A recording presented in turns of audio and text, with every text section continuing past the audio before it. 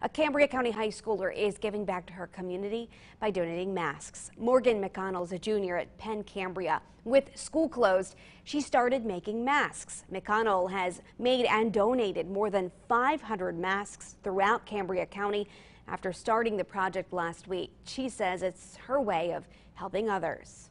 A lot of people started overbuying, so they went through a shortage.